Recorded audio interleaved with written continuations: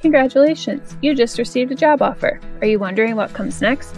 First, don't respond immediately. Instead, thank the interviewer for the offer, ask for a timeline of when they need to hear back from you, and request a copy of the offer in writing if possible.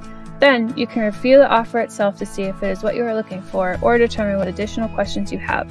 If you are still waiting to hear back from other organizations, let them know you have received an offer and ask about their timeline.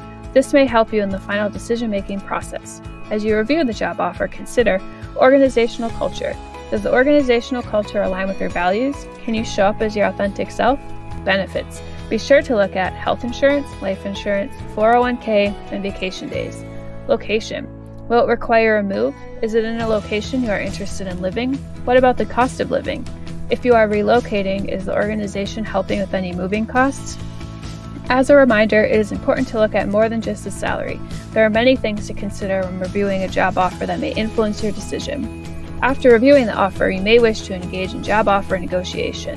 Job offers are frequently negotiated. Salary is most commonly negotiated, but things like a starting date or number of vacation days can also be negotiated.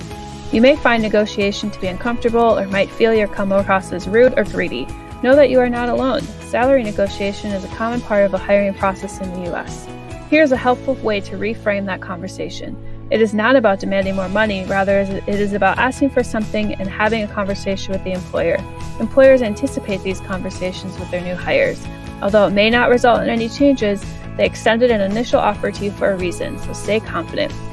If you want tips and examples of how to negotiate your offer, check out the next video in the Navigating Job Offers series, The Negotiation Conversation, at z.umn.edu slash negotiation underscore conversation. Again, congratulations and good luck.